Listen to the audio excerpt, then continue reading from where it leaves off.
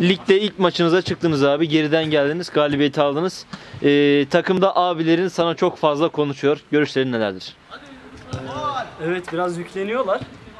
Ee, yüklenmekte de zaman zaman haklı olabilirler. Çünkü e, büyüklerimiz bize e, öncü oluyor. Ee, bu bağlamda güzel bir maç oldu. Geriden geldik. Ee, yorucuydu.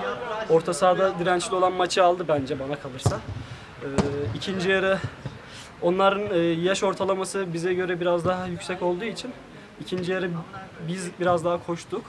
Ee, bu bağlamda e, güzel bir orta saha mücadelesi oldu ve maçı kazanmayı bildik.